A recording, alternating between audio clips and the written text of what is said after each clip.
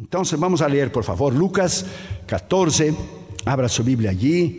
Vamos a empezar en el versículo 28. Lucas 14, versículo 28. Abra tu corazón y abra tu mente para oír la voz de Dios.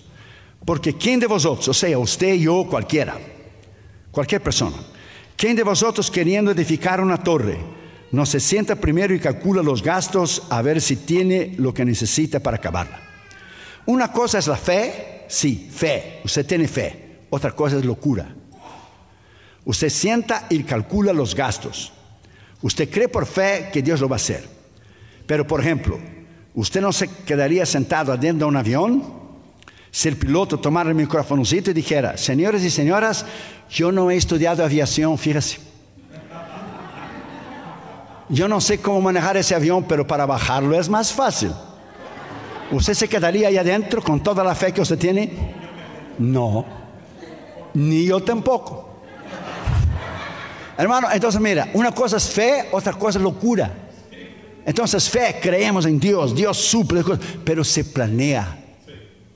Foi planeada a venida de Cristo, foi profetizada a venida de Cristo por todos os profetas. Foi planeada seu nascimento em Belém, quando Miqueias diz: Tu, Belém Efrata, pequena era entre as clãs de Judá, de ti saldrá el que será governador em Israel. Todo foi planeado, hermano. El plano de Deus, mira, Gálatas 4 diz que en el tiempo de Deus nació, nació lo que es el Mesías, hijo de mujer, bajo la ley, para cumplir lo que estaba la ley, para ser libre lo que estaba la ley. Deus é um Deus de plan, hermano. Un Dios de planeamiento. Cuando usted planea las cosas, las cosas le salen bien. Las cosas le salen muy bien. Entonces, mira bien, usted tiene que calcular los gastos primero para acabar. Versículo 29. No sea que después que haya puesto el cimiento, o sea, empezó sin calcular y no pueda acabarla, todos los que la vean comienzan a hacer burla de él, o sea, de usted, de mí, diciendo, este hombre comenzó a edificar, pero no pudo acabar. La obra de Dios, hermano, es burlada de muchas maneras por muchos cristianos, hermanos, que dicen una cosa y viven otra. Y muchos hermanos están hoy descarriados de la iglesia porque Dios no le contestó. Según ellos, Dios les falló. Dios no falla, hermano. Deuteronomio 32 dice, Él es recto, Él es fiel, Él es perfecto y Él no falla. En nosotros que fallamos. En Dios no hay mancha. Es nosotros que hacemos las cosas mal. Nosotros que no esperamos el tiempo de Dios. Nosotros que queremos correr delante de Dios y Dios no corre. Como dice el dicho, no se pone el carro delante de los bueyes. Porque las cosas no, van a salir bien. Entonces se llama planeamiento. Vamos a hablar rápidamente sobre eso. Vamos a orar. Padre, en el nombre del Señor Jesucristo. Te pedimos que tú nos hables con poder y con autoridad en esta mañana. Gracias porque tú hiciste el viernes sábado por la mañana conferencia de matrimonio, ayer por la noche, esta mañana lo harás y esta noche también. Háblanos en el poder de tu palabra, habla en la autoridad, Señor, que tú nos has dado, reconociendo que Irión no es nada, nadie, solo un siervo reemplazable, inútil. Te pedimos que tú nos hablas en el poder de la autoridad de tu palabra, para tu honra y para tu gloria, en el nombre de Jesús. Amén. Podéis sentarme, queridos hermanos, por favor. Muchas gracias.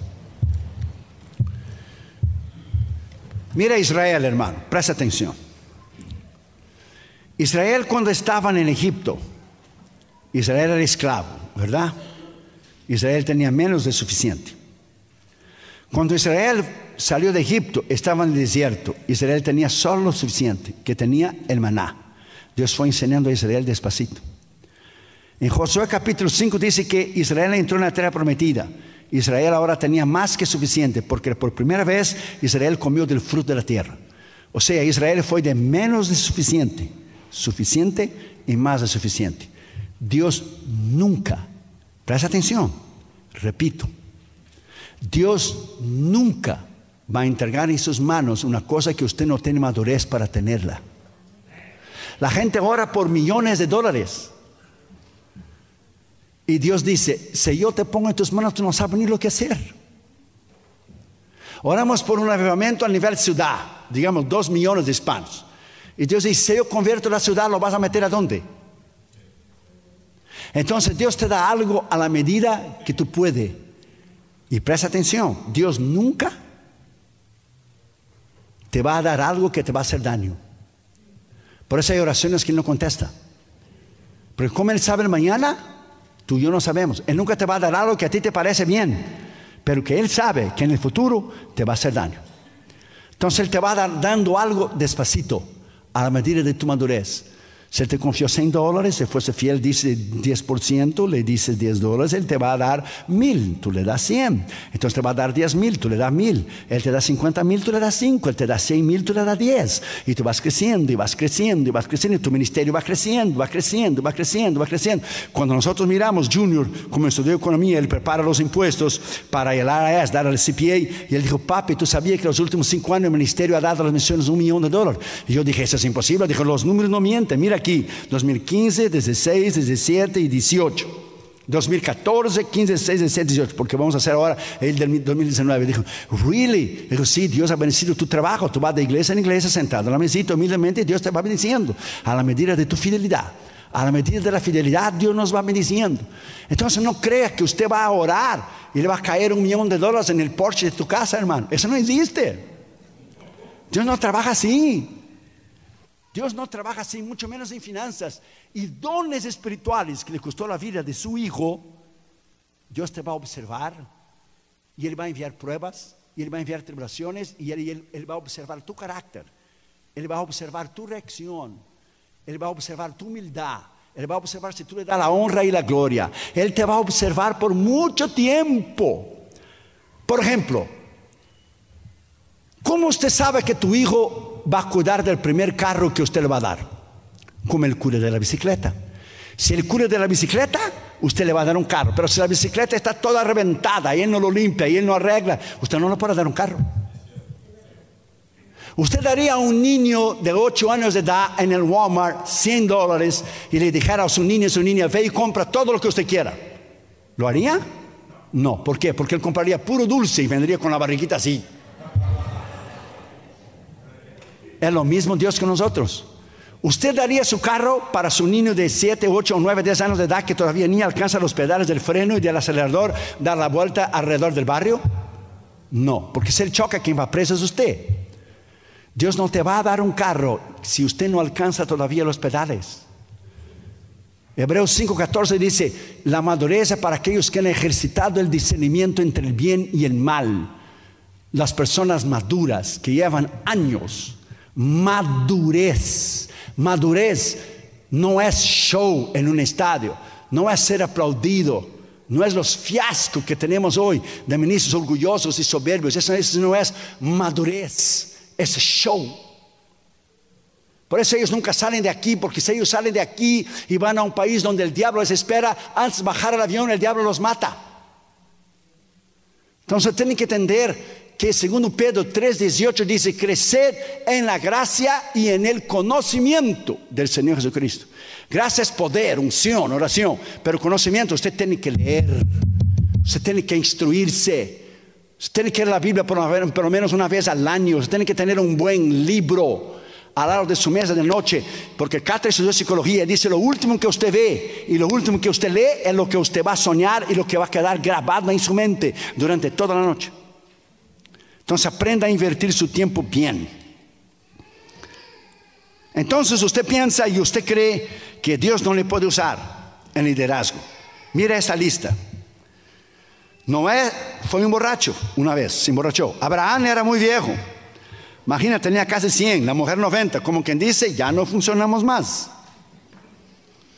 Isaac cavaba pozo, Jacob era un tramposo mentiroso, Dios lo cambió el nombre para Israel.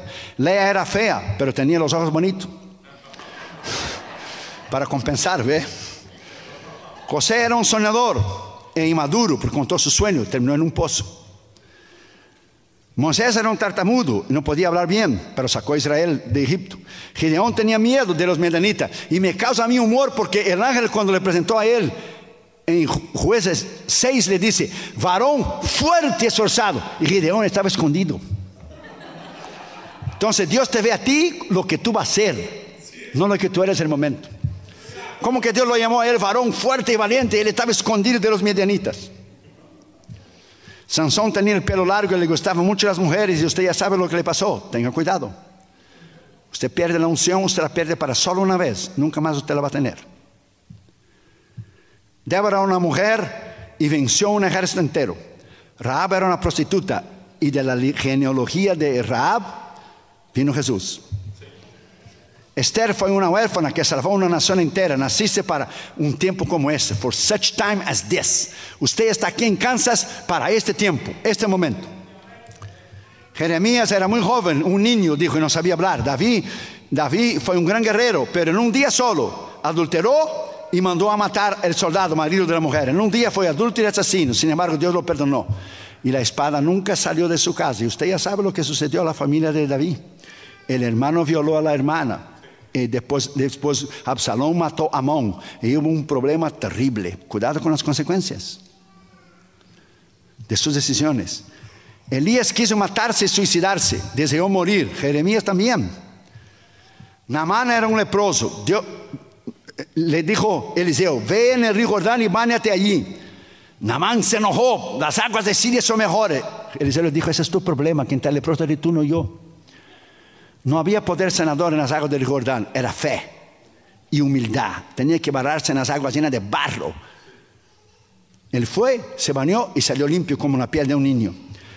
Isaías predicó desnudo, no lo vaya a hacer porque lo van a meter por usted preso.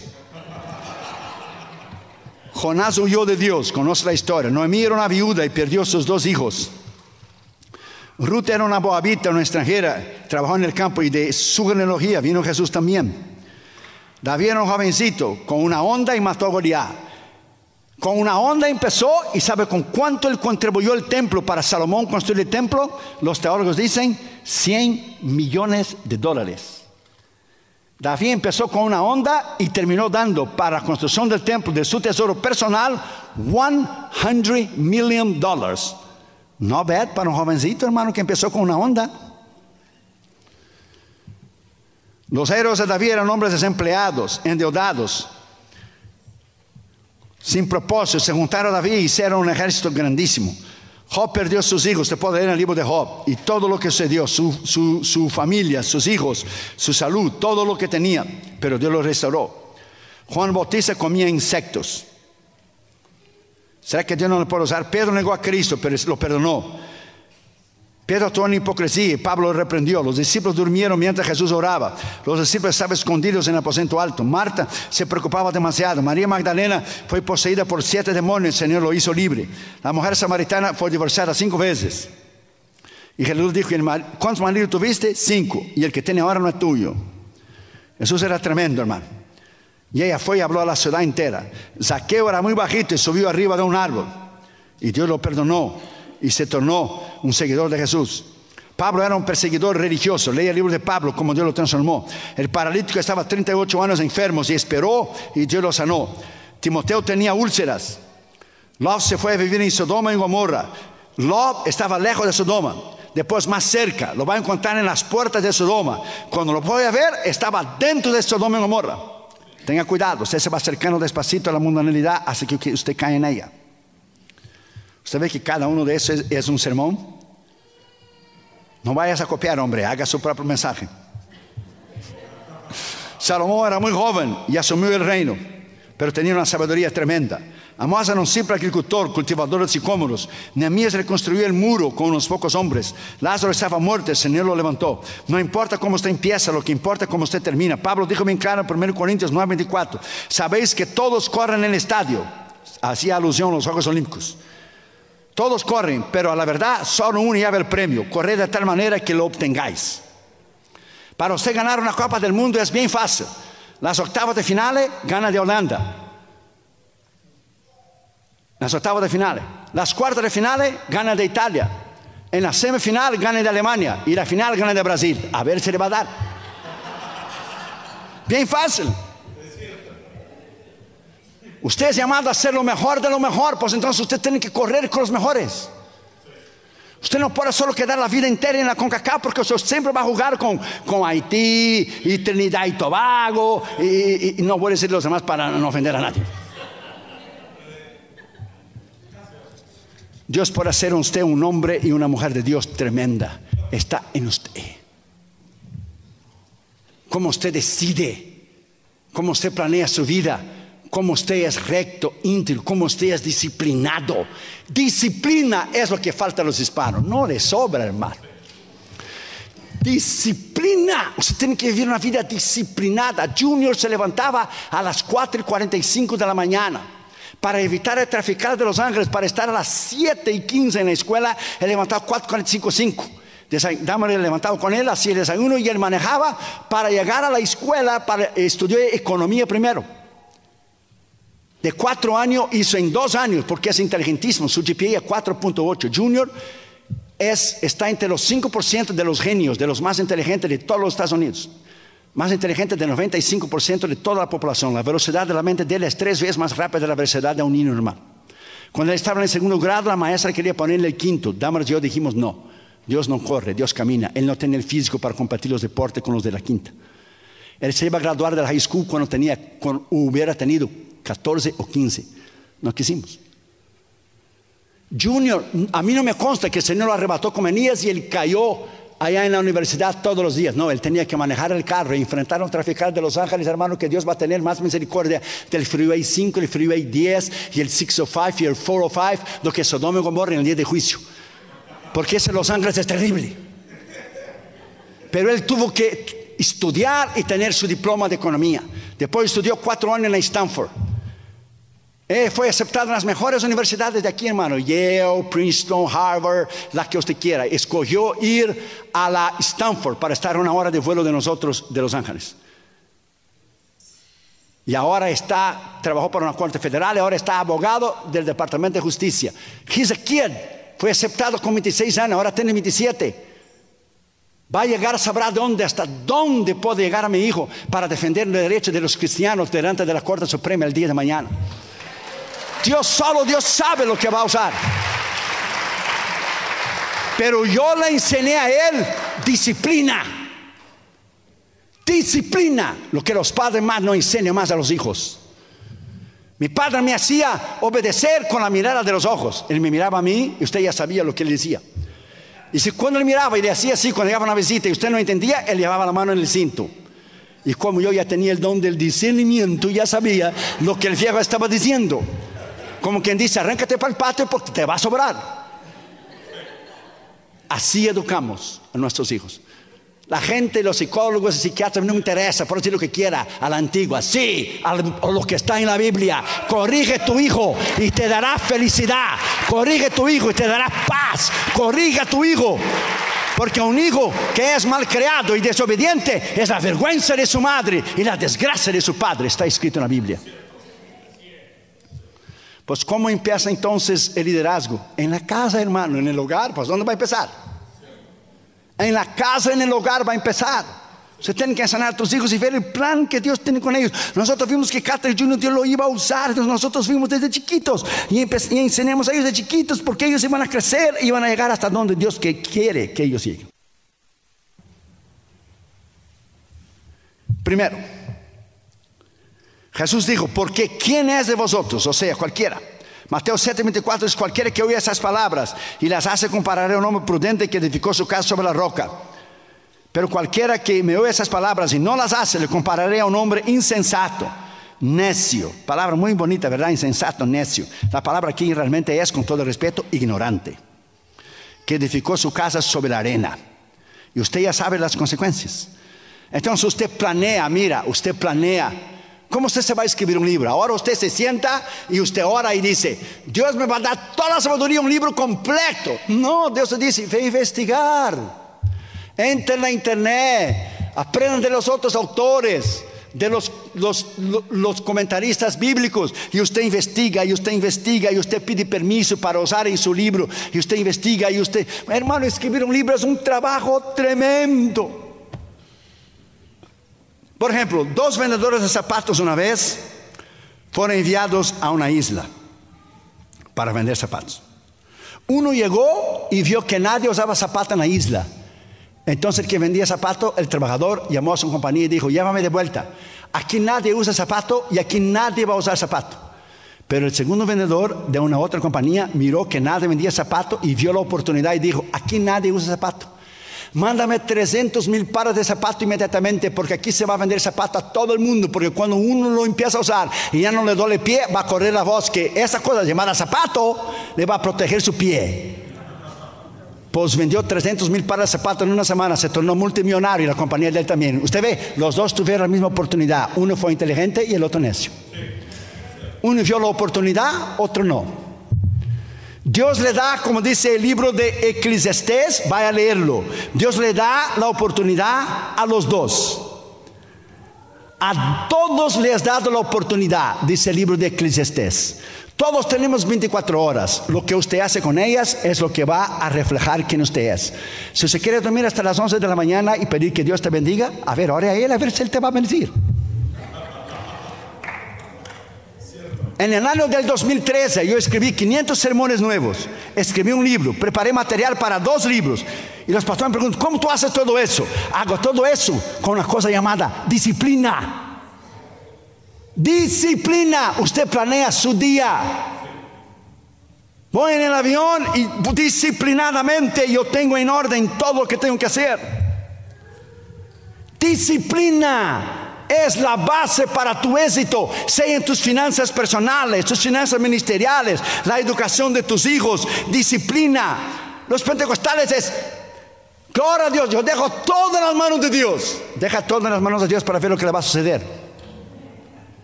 Dios puede cuidar de usted lo que usted no puede hacer, pero Dios no va a hacer lo que usted puede hacer. Jesús estaba delante de la tumba de Lázaro, presta atención. Pero había un problema para Jesús resucitar a Lázaro. ¿Cuál era el problema? La piedra. Jesús pudiera haber dicho, piedra, ponte a un lado. La piedra se hubiera puesto inmediatamente. Jesús dijo, hombres, quitad la piedra. La enseñanza es, lo que usted puede hacer, Dios no va a hacer por usted. Usted tiene que estudiar, usted tiene que orar, usted tiene que ayunar, usted tiene que levantar temprano, usted tiene que escribir un libro. ¿Usted cree que los libros surgieron así? O yo vengo de estos viajes largos y tengo que cansado, presión alta, prender la computadora, poner la mano arriba del keyboard y todas mis notas y escribir el libro. ¿Usted cree que las cosas sí pasan de la noche a la mañana? Por eso la gente, hermano, no tiene éxito. La gente, hermano, no, no, es bien sucedida. Muchos cristianos resbalan, siempre lo mismo, lo mismo, lo mismo. ¿Por qué no tienen disciplina? Yo oro y dejo la mano de Dios. Después, mientras tú dejas mis manos, tú no vas a tener nada. Porque yo no voy a hacer por ti lo que tú tienes que hacer. Está igual eh, el que vino del país de América Latina y salió del avión y tenía la idea que aquí, imagínate, eh, eh, el dinero se recorría arriba de los árboles. Y por coincidencia, cuando salió de avión, miró cinco dólares caído en, la acera. Como salió del avión, vio cinco dólares y dijo, estoy muy cansada ahora, mañana empiezo a recorrer. No matan nunca. Segundo, queriendo edificar una torre, o sea, todos queremos. Salmo 27, 1. Todos queremos ser bien sucedidos. Si Jehová no edificara la casa, en vano trabaja los que la edifican. Jehová, si no guardara la ciudad, fíjase, guardar la ciudad, pero él no edificó la ciudad. Los hombres edificaron la ciudad, él la guarda. La Biblia dice bien claro en Eclesiastés que el hombre que es aragán, esa es la palabra, aragán, perezoso, lazy, le cae el techo llueve adentro de la casa. ¿Usted cree que Dios le va a arreglar el, tin, tin, tin adentro de su casa? Entonces, lo que usted tiene que hacer, Dios no va a hacer por usted. Usted tiene que poner esa palabra dentro de su corazón, sea ministerio, sea negocio. Usted tiene que aprender a invertir tu tiempo. Usted tiene que aprender a invertir los recursos que Dios te dio. Yo no como estudié economía desde jovencito. Empezó a invertir en, la bolsa de valores. Comenzó a hablar de los bancos, la bolsa de valores y Wall Street. Despacito le va invirtiendo, le va invirtiendo, le va invirtiendo, le va invirtiendo, le va invirtiendo despacito. Yo le enseñé a ahorrar, le enseñé a ahorrar a él, a Catherine Jr. Yo enseñé a Catherine Jr. a dar los diezmos de chiquito, hermano. Catherine Jr. eran bebés, ponga esa palabra dentro de mi corazón, bebés. Parece que los estoy viendo con sus dos pijamitas, Catherine con su pijamita pink y Junior con su pijamita azul. Un día estaba jugando y yo traje 10 dimes, que hacen un dólar, y un billete de un dólar. Y yo dije, mira, papá le va a dar a ustedes un dólar a cada uno. Oh, mira, mami, un dólar. Yo dije, de este dólar, ustedes tienen que dar un dime para el Señor, es 10%. Aquí están dos sobrecitos. Vamos a escribir aquí, diezmo de Catre y diezmo de Junior.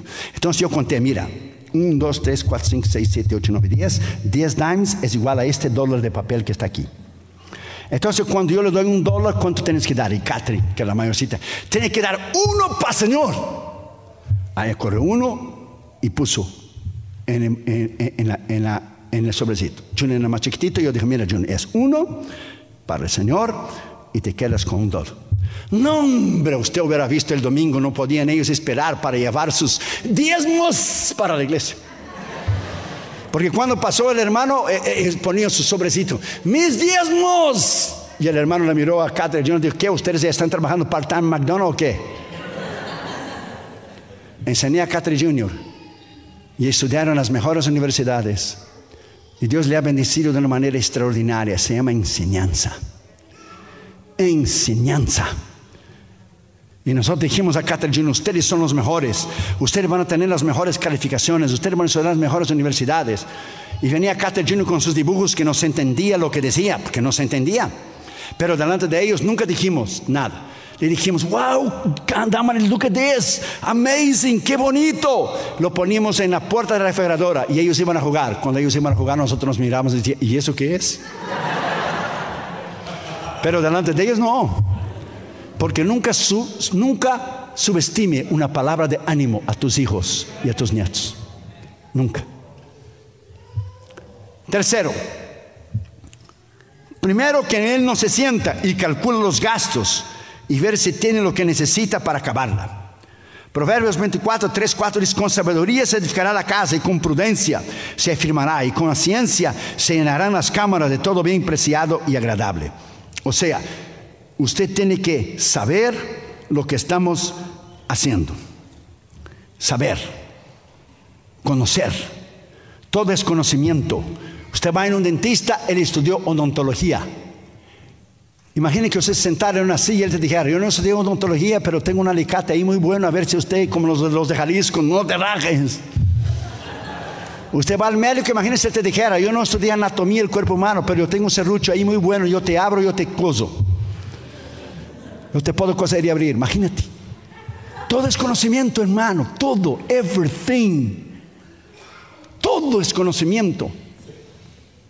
La persona no puede gloriarse de su ignorancia. Yo soy humilde y sencillo. Una cosa es ser humilde y sencillo, otra cosa es ser ignorante. Catherine y Junior tienen dos universidades cada uno y son humildes y sencillos y son súper intelectuales los dos. Yo una semana pasada tuve una reunión con los abogados de la Corte Suprema que él va a defender un caso del gobierno que es a favor de la vida, como es cristiano, hijo de ministros, contra el aborto. Y él va a hablar delante de la Corte Suprema defendiendo la vida. ¿Cómo se va a poner delante de hermanos de los jueces de la Corte Suprema? ¿Va a hablar qué? ¿Usted ya miró la película de Cantifla? Ahí está el detalle. Del abogado defensor le defendiendo, le defendiendo. Usted no mató a Bobby, porque Bobby para Cantinflas, que lo había matado, era un perro. Pero para el, de abogado defensor era un hombre. Y Cantillo, por hablar la verdad, dijo: Yo sí lo maté. No, usted no lo mató. Usted no lo quería matar. ¿Y qué dijo Cantinflas? No, más bien lo quería echar el pico.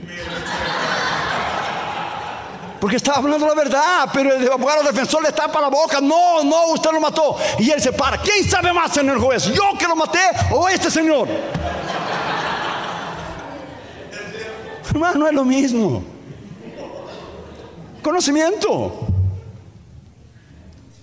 Usted tiene que tener conocimiento. Yo pido que fusile a este y a aquel. A usted no pido nada. Se fue a sentar y cayó para atrás. No se puede hablar de lo que no se sabe. Por ejemplo, un técnico una vez en una fábrica se quebró la máquina de hacer copias, de hacer Xerox, copia, copy machine. Y llamaron al técnico. Y el técnico vino y miró, miró la. Y le pegó un trancazo arriba, como dicen los hermanos mexicanos. Y la máquina empezó a funcionar. Y le pasó un bill de 100 dólares al manager. Y el manager se enojó y dijo, pero 100 dólares, pues usted no hizo nada. Usted le pegó la máquina. Y él dijo, ya verás. Le voy a pasar el bill. Un dólar por haber pegado la máquina. Y 99 dólares por saber dónde pegar en la máquina. Ahí está el detalle, ¿no está el detalle ahí? Ahí está el detalle, yes. Ahí está el detalle. Usted tiene que saber dónde Dios le ha llamado. Usted tiene que saber tus dones, tus talentos. Usted es llamado a dar la obra de Dios, pero usted es llamado a ser sabio, a ahorrar para tu futuro, para pagar la universidad de tus hijos. Usted no puede agarrarse el dinero. Cuanto más usted da, Dios te va a dar, pero usted tiene que planear. Planeamiento no es falta de fe, planeamiento es sabiduría.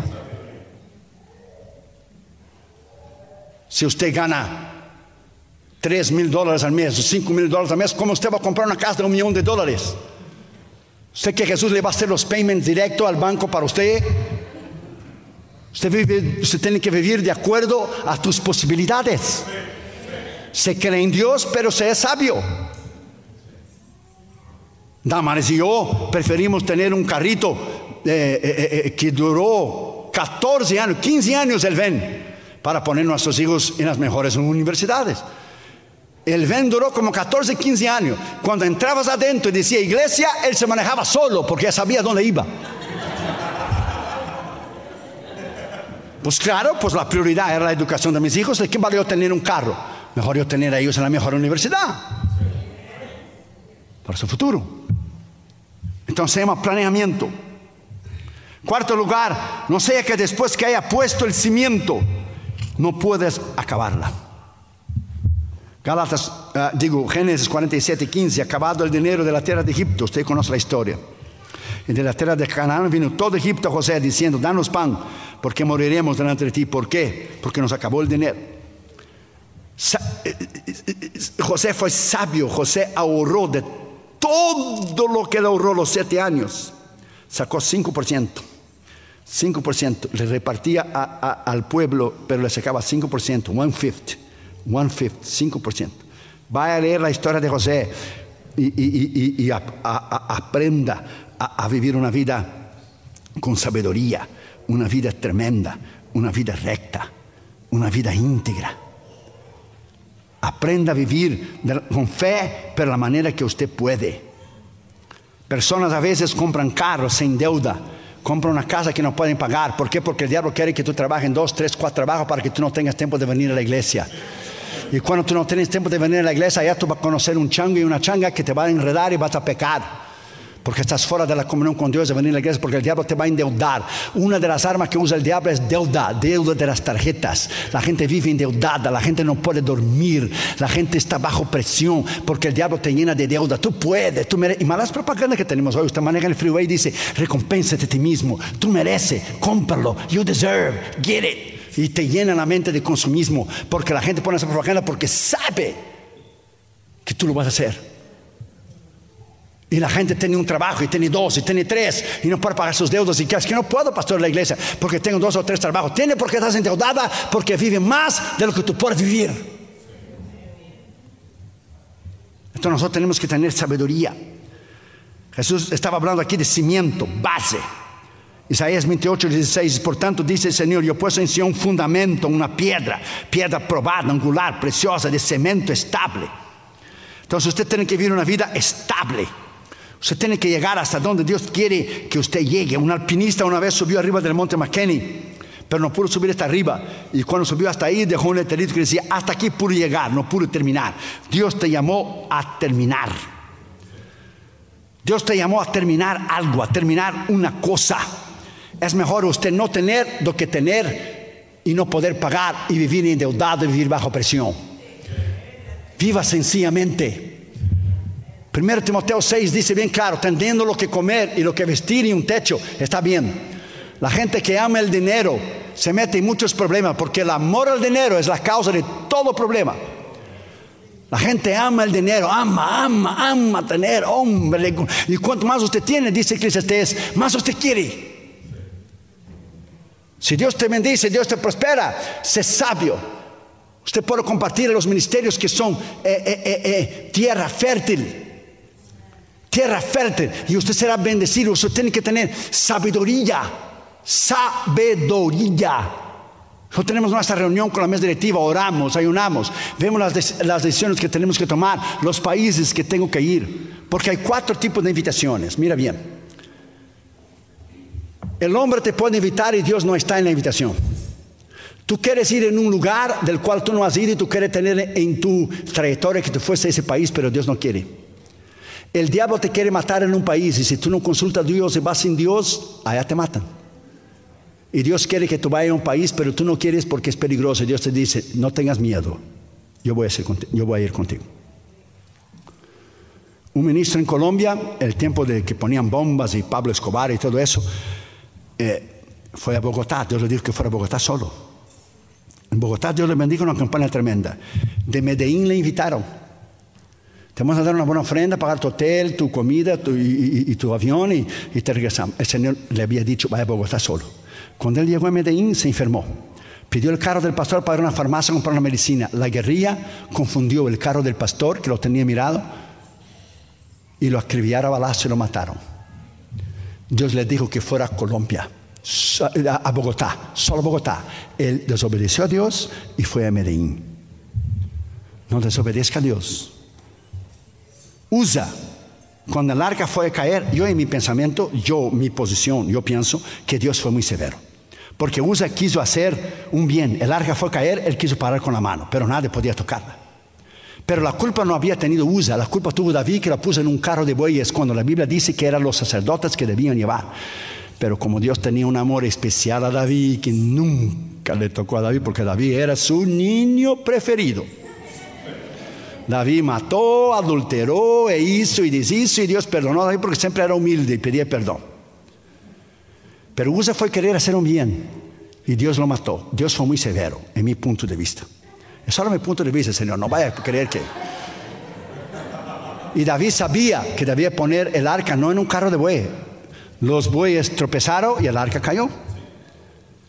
Entonces David tuvo miedo y puso el arca en la casa de, de, de Obededom. Después mandó los sacerdotes, daban seis pasos, sacrificaban, seis pasos, sacrificaban, seis pasos hasta llegar a Jerusalén, porque le corrió miedo porque Dios lo fulminó a Usa. Nosotros pasamos ahí, está escrito hasta el día de hoy, Field of Usa, el campo de Usa. Nosotros pasamos ahí en Israel. A Dios, hermano, se teme. Si imagínate, si es difícil obedecer a Dios lo que Él nos pide para hacer, imagina usted querer hacer algo que Él no te ha pedido. No te pongas a ayudar a Dios porque Él no necesita de tu ayuda ni la mía. Dios es poderoso para contar el universo, controlarlo sin ti y sin mí. Dios alguna vez te pidió algún consejo. Dios alguna vez te pidió un consejo cómo administrar los planetas, cómo cuidar de la economía mundial. La Biblia dice, ¿quién lo aconsejó? Nadie. Entonces solo haga lo que Él te ha pedido. That's it. Solo haga lo que Él te ha pedido y todo te irá bien todo te irá bien. Liderazgo no es, my friend, solo una forma de que administrativa. Usted empieza con su vida primero. Usted puede administrar una gran empresa, pero si usted no es disciplinado en su vida, su vida refleja lo que va a ser su trabajo, su llamado, su ministerio. Su vida primero. Y Dios te va bendiciendo, bendiciendo, bendiciendo, bendiciendo, bendiciendo. Y cuando usted va a ver, usted es bendecido tremendamente. Cuando yo escribí mi primer librito, El poder de la palabra de Dios, ninguna editorial quería editarlo. Mandé a todas, y unas por respeto, por ética. Hermano Orión, le conocemos como predicador, pero no como escritor. Claro, porque las editoriales quieren vender el libro. Para ti es sostener el ministerio, pero para ellos es un negocio. Y Dama le dijo, yo nunca vi tú dejar de ser perseverante. Lo que tú quieres, tú siempre lo consigues. Tú vas a editar tu primer libro. Yo, le dije, tú sabes muy bien, porque cuando yo puse los ojos en ti, yo dije, tú eres mi y no hay chango que se acerque. Duró dos años y seis meses hasta que en la editorial Caribe Tania me escribió y dijo, vamos a editar su libro.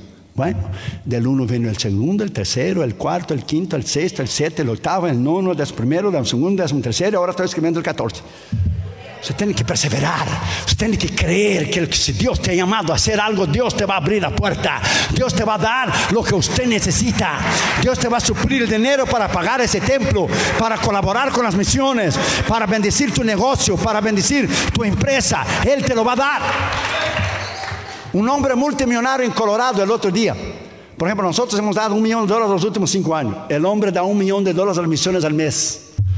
El hombre tiene empresas, tiene compañías, tiene su avión privado, el hombre es multimillonario, es un cristiano. Entonces un canal de televisión secular le entrevistó y le dijo, usted da un millón de dólares al Dios tuyo, porque no, no sabe verdad el Señor, al Dios tuyo al mes, ¿a usted no le duele? Y dijo el hermano cristiano, a mí no, el dinero es de Dios, a él le debe doler. Porque el dinero es de él, yo doy lo que él me dio, a él le debe doler, a mí no. Cuanto más yo doy, más soy bendecido que la Biblia dice bien claro, la Biblia dice bien claro, cuanto más usted siembra, más Dios te va a bendecir. El otro día, hermano, estaba yo en Washington DC. Vino la directora de un orfelinato en Nicaragua. Los niños pobrecitos, hermano, con necesidad de zapatos, de alimento y necesidad de ropa. Yo anuncié en el culto, toda la venta de los libros esta noche va para Nicaragua a esos niños, de los cuales tus hijos y los míos no tienen necesidad de zapatos, ni de ropa, ni de comida. Lo doné. El segundo día, el pastor estaba ahí de Honduras, que camina cinco horas de distancia las iglesias y va de carro, autobús o bicicleta. La segunda vez de esa noche va para Nicaragua y va para eh, eh, este hombre de Dios que está pastoreando esas iglesias. Lo doné. Al tercer día va al misionero que va a Nicaragua a pagar sus gastos de avión, su comida de él y de su esposo. Usted tiene que tener un corazón generoso, hermano. ¿De qué vale usted ver la necesidad? Usted ve un video y ve la necesidad y Dios sabe que usted puede dar, pero usted tranca el corazón, Dios te dice, ya verás. Ya verás si la próxima campaña no nos vas a vender un casé solo. Tiene que ser generoso, hermano. Usted ve la necesidad, eso se llama, mira, el liderazgo. ¿Sabe lo que es? Liderazgo, bíblicamente hablando, es usted no ser dueño de nada no seas dueño de nada y Dios te dará todo. No seas dueño de nada, ni mi carro, ni mi, ni, ni, ni, ni mi casa, y, ni mis títulos. Y no, no, no, no. Todo es de Él, por Él y para Él. A Él sea la gloria. A Él sea la gloria. Y usted verá cómo Dios te va a bendecir. Quinto lugar, todos los que vean comienzan a volarse de él. Salmo 79, 4 dice, somos afrontados de nuestros vecinos, escarnecidos y burlados somos con nuestros enemigos en nuestros alrededores. ¿Cuántos ministros han dado malo testimonio? ¿Cuántos predicadores soberbios? Hermanos, los pastores me dicen que a veces ven predicadores que llegan en el aeropuerto y llevan sus guardaespaldas y los hermanos que los van a buscar no se pueden ni acercarse a ellos. No se puede acercarse a recorrer sus maletas, hermano. Dámaras y yo el otro día estamos en una convención en un país, no vamos a decir cuál es para no herir a nadie. Llegó un hombre así, muchachito, así, parecía un gusanito, de ese tamaño así. Con un guardaespaldas delante, otro a la derecha, otro a la izquierda, otro atrás. Todos nosotros nos empezamos a reír. Los ministros nos empezamos a reír. Y yo dije a mí, cuando me dispararon a mí, a 10 pies de distancia y hubiera tenido 50 guardaespaldas, la bala hubiera pasado donde tenía que pasar y si era tu día, Dios te hubiera llevado. Yo no necesito el guardaespaldas, necesito de la sangre de Jesús sobre mi vida. La sangre de Jesús sobre mi vida. ¿Sabe lo que es la grandeza de un hombre? Te la voy a decir. La grandeza de un hombre es su humildad. Tú encuentras Pelé en cualquier lugar del aeropuerto, él para y te, y te escribe un autógrafo. Yo tenía 20 años de edad cuando estaba en Holanda en la conferencia de Billy Graham, cuando Billy Graham vino a sentarse al lado mío, él, Cliff Barrows y Ruth Bell Graham. Y tengo firmado en mi Biblia en inglés. Y le di la mano. Yo jamás pensé cuando era jovencito que yo iba a dar la mano a Billy Graham. Se paró y me saludó. Y no, hablaba yo inglés, solo decía yo a, a, Brasil, Brasil, Brasil. Oh, yo estuve ahí, Brasil, 250 mil personas, aquel tiempo cabía en el Maracaná. La grandeza de Billy Graham siempre fue su humildad. Lo que tenemos hoy, hermano, es una soberbia, es un asco. Es un asco, es una soberbia, un orgullo, una cosa terrible, hermano, que tenemos hoy. Apártese de esos hombres, no los oiga. Un hombre una vez llevaba un maletín negro a la iglesia. Y durante dos, tres años llevaba un maletín negro. El pastor le paró un día después del curso y dijo, hermano, yo quiero ver lo que está dentro de ese maletín. Porque usted trae ese maletín por dos años. Eh, ¿Y qué hay ahí? ¿Un arma que le condena? ¿Un millón de dólares? ¿Qué hay ahí adentro? tranquilo, pastor, tranquilo. Cuando le abrió el maletín había qué? Una camisa sucia y vieja, un pantalón sucio y viejo maloliente y unos zapatos malolientes y viejos. Y el pastor le dijo, pero eso es lo que usted trae al culto. Dijo, sí, eso es lo que traigo. Para que el día que yo piense que soy alguien mejor que mis hermanos. Para el día que yo mire a mis hermanos por arriba del hombro. Para que el día que la soberbia, la arrogancia y la prepotencia penetran en mi corazón, todo lo que yo tengo que hacer, como yo tenga maletín conmigo, es abrir el maletín y nunca me olvidar quién yo era cuando Jesús me salvó y Jesús me transformó. Eso era lo que yo era cuando Él me salvó y cuando Él me transformó.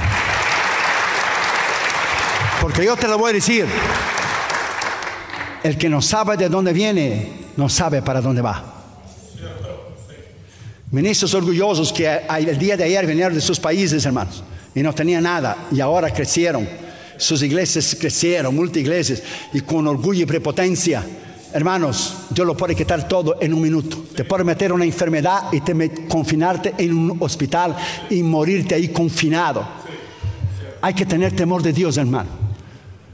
Porque el, dinero se usa, pero la persona se torna orgullosa, prepotente.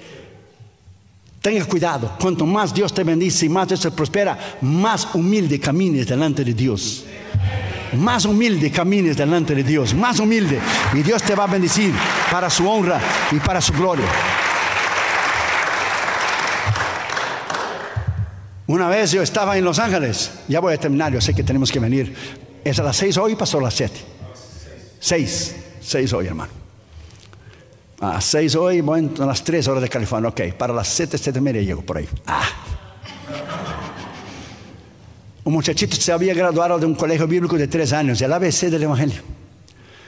Estaba yo en Los Ángeles y él fue a hacer su primera campaña. Hizo un cartel enorme, hermano, un cartelazo con su foto y puso Evangelista Internacional. Y yo me fui a él y dije, hijo, ¿dónde tú predicaste para ser internacional?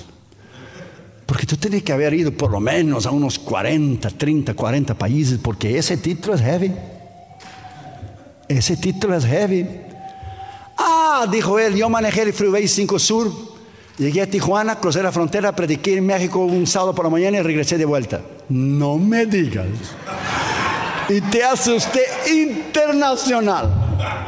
La gente no quiere esperar, hermano, no quiere esperar. ¿Sabe cómo yo llamo esos ministerios? Microwave Ministries. Ministerios del microondas. ¿Por qué? Porque cuando Catherine y Junior nacieron no existía microwave. Era calentar la leche en la estufa.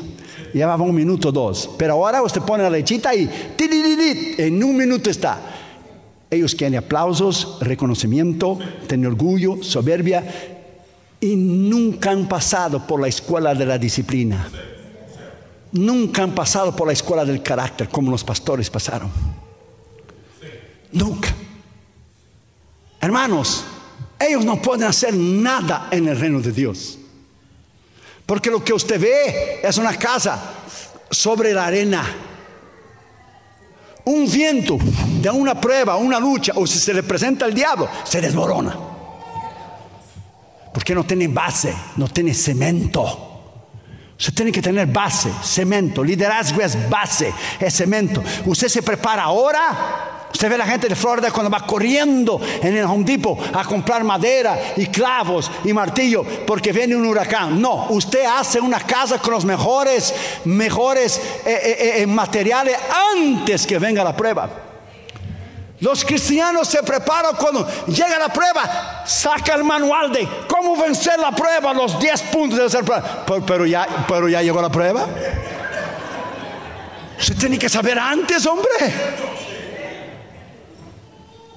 Cuando el diablo dijo, está escrito, esta espera es tu sombra y pan, ¿usted cree que Jesús dijo, déjame ver, un segundo? Abrió el libro de Deuteronomio y, buscó. No, Jesús dijo, también está escrito, no solo de pan vivirá el hombre, pero de la palabra que sale de la boca de Dios. El diablo dijo, oh, si tú te echas ahí para abajo, ¿qué Jesús dijo? No tentarás a Jehová tu Dios. Si tú me das todo lo que tienes, yo te doy de vuelta. La, eh, la, palabra también dice, solo el Señor Jehová adorarás y a Él prestarás culto. Usted tiene que tener la palabra a la punta de la lengua. Usted tiene que conocerla. Otro día se sentó en el vuelo al lado mío un rabbi judío leyendo la ley, el Torah en hebreo. Le dije, ese es otro pez gordo y aquí vamos. Y saqué la hojita que te enseñé ayer que prueba que Jesús es hijo de Dios. Yo ya tengo lista en mi Biblia. Y le dije, Jesus is the Son of God. I know you don't believe in the New Testament because you didn't read it, porque no lo has leído. Él es el cumplimiento de todas las profecías de Isaías, Jeremías, Daniel, lea.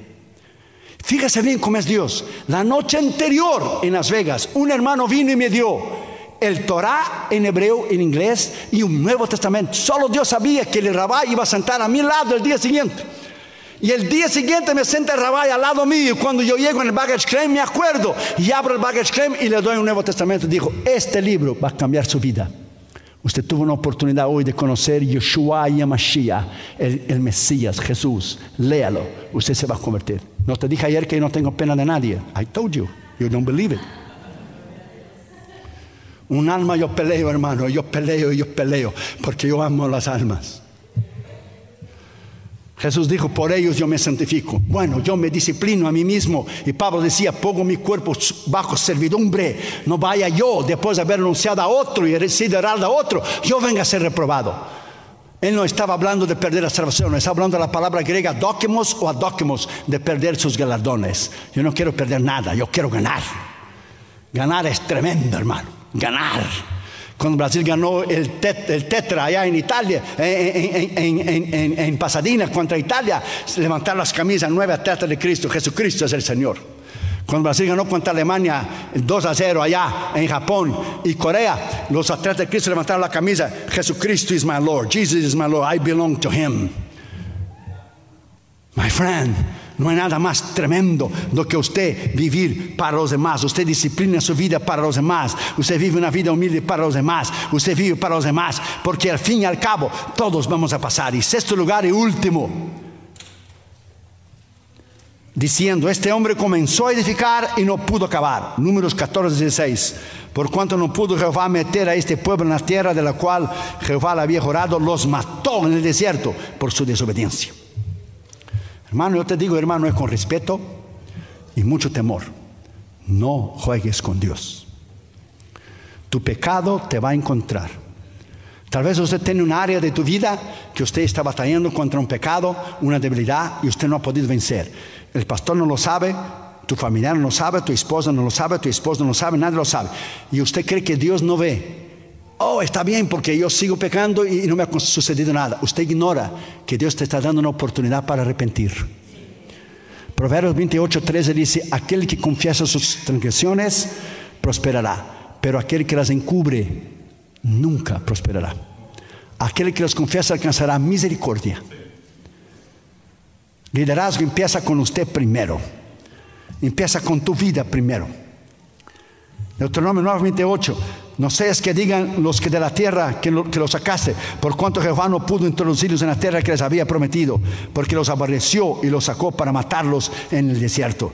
Fíjate bien que si Dios no perdonó a la generación entera, dos millones de personas que salieron de Egipto, solo los de 20 años para abajo y Josué y Caleb entraron en la tierra prometida, Dios es un Dios tremendo. Si hay algo que Dios no soporta, es cuando usted viola su palabra y usted no cree en sus promesas.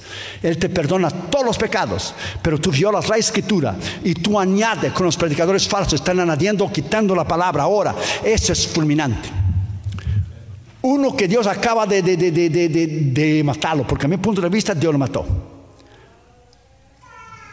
Allá en las Bahamas, que iba de iglesia en iglesia e iba ordenando apóstoles, donde quiera que iba. Y llegó a decir que la venida de Cristo, que Jesús no iba a venir, que eso no era el Evangelio. Dámonos, yo lo oímos hablar en un mensaje. Dice, it's not the gospel. Cuando la Biblia dice bien claro que Jesús va a venir. No había leído en 1 Tesalonicenses 4:16, con voz de mando Él bajará, como voz de mando de arcángel, los muertos restarán primero y nosotros que estuviéramos vivos seremos defados con el Señor. Está escrito. Hechos 1 está escrito. Varones galileos, ¿por qué miráis arriba? El mismo Jesús que subió es el mismo que va a bajar y quitó y mintió. Cuando llegó con su avión privado, él, su esposa y su hijo, ¿qué hizo Dios? Derrumbó a esas cosas, no sé cómo se llama, crane de la construcción. Una grúa le partió en medio del avión. Lo mató a él, su esposa y su hijo. Si tú tocas la palabra de Dios, Dios te va a fulminar. Tú empiezas a quitar de la palabra o aumentar la palabra y te hace muy grande y, muy millonario y muy eso, muy al otro y, con orgullo y soberbia, Dios te está preparando a ti un trancazo que tú no te vas a levantar. Mejor camina en humildad. Alguien que no puede acabar algo es terrible. Jesús dijo en Juan 17:4 te he glorificado, he terminado la obra que me diste para hacer. Hechos 20:24 dice bien claro, ninguna cosa hago caso a mi vida, ni preciosa a mí mismo, yo creo, con tal que termine la carrera con gozo y la palabra que recibí del Señor Jesucristo. Al final de su vida, Pablo pudo decir en 2 Timoteo 4:7, he peleado la batalla, he acabado la carrera, he guardado la fe. No empieces algo que Dios no te ha llamado a hacer. Si Dios no te llama a ser evangelista, no te ponga a viajar y a ser evangelista porque no te llamó. Si Dios no te llamó a ser pastor, no te ponga a ser pastor porque va a venir pruebas tremendas sobre tu vida. Yo he encontrado pastores que quieren viajar y ser evangelistas y no tienen esto, ando llamando a las iglesias para tener invitación.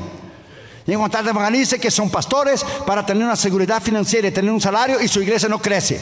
Tú tienes que permanecer en lo que Dios te ha llamado. Ahí va a crecer en madurez, va a crecer en convicción. Como Dios nos ha bendecido despacito para sostener los misioneros, porque yo fui misionero y soy misionero y tengo esta pasión por las misiones. Y en mi libro segundo, M aquí Señor, envíame a mí, yo dije cinco cosas. Dios llama, Dios capacita, Dios envía, Dios suple y Dios respalda. Ese es el llamado de Dios. Dios llama, Dios capacita, Dios envía, Dios suple y Dios respalda. Unos se están llamando a sí mismo y usted no puede llamarse a sí mismo. Esa obra es sobrenatural. La obra sobrenatural requiere capacidad sobrenatural para usted vivir en ella. Y sobre todo requiere humildad. Humildad es que falta a los ministros de hoy, a los predicadores de hoy, a los evangelistas de hoy, misioneros de hoy, a los cantantes de hoy. Humildad. Una vez yo fui hermano en una convención, yo prediqué y un cantante cantó yo fui a darle la mano y me dejó con la mano tendida así. Me dejó la mano tendida así, porque era muy grande. Llegaba con sus guardaespaldas, salía por una puerta de un lado y me dejó así. No problem. That's fine. El tiempo pasó. Se enfermó. Nos encontramos en un lugar y dijo, Brother Irión, llévame en tus campañas. Yo pago mi avión, pero llévame alrededor del mundo. Yo dije, brother, a veces me invitan y a veces yo llevo un equipo de pastores conmigo y ya está todo el budget cubierto. ¿Cómo la vida da vueltas, hermano? La vida da vueltas. El que no tiene hoy tiene mañana. El que tiene hoy no tiene mañana. La vida da muchas vueltas. Y mira la humildad. Termino con esto. Pablo, que fue Pablo, que nadie es igual a Pablo y que todo el mundo se quiere llamar como él hoy. Debería darles vergüenza. Pero Pablo, en la primera carta que escribió en Gálatas 1.1 dice, yo, Pablo, apóstol. Ok, sí era apóstol, fundador de iglesia y apóstol tiene que haber visto el Señor Jesucristo y apóstol tiene que haber hecho señales milagros. Pero digo, si tú no tienes esas características, usted no es apóstol. Pablo nunca fue pastor. Entonces un pastor no es apóstol, que la gente no conoce la Biblia. Para ser apóstol tiene que haber visto al Señor Jesucristo. Pablo dijo bien claro, 1 Corintios 9, no soy apóstol, no he visto al Señor Jesucristo. Pregunta a ese montón de, apóstoles que hay si ellos han visto al Señor Jesucristo. Nadie lo ha visto. Apóstol es un fundador de iglesia, nunca está en un lugar. Funda una iglesia, delega, deja un lugar, a un otro. Funda una iglesia, delega, deja un lugar. Hay apóstoles, sí, yo lo conozco.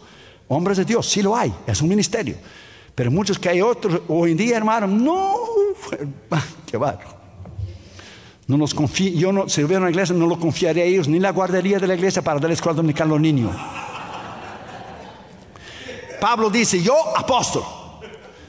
Siete años después él escribió 1 Corintios 15 y versículos 10 y 11, él dijo, yo no soy digno de ser llamado apóstol y soy el menor de los apóstoles porque perseguí la iglesia de Dios. Miren la humildad de Pablo. Ocho años después él escribió Efesios 3.8 y él dice, yo que soy el menor de todos los santos, o sea, el menor de todos los creyentes. Y en 1 Timoteo 1.15 Pablo dijo, verdad y palabra fiel es esta, que Jesucristo vino a salvar a los pecadores, del cual yo soy él primero. Mira que bien la humildad del apóstol. Él empezó, apóstol, menos de apóstol, menos de creyente y el primer de los pecadores. Los de hoy empiezan de abajo para arriba, Pablo empezó de arriba para abajo. Es ahí la calidad de un hombre de Dios que usted conoce. Una vez fui a una iglesia que cuando llegó el evangelista para predicar y fue invitado, no quería entrar en el carro que el hermano le fue a buscar. Y el hermano le llamó al pastor, dijo, es que no quiere entrar en mi carrito que le vine a buscar. Y dijo el pastor, o entra o regresa de vuelta al aeropuerto toma su pasaje y regresa. Ese es el carro que le va a buscar.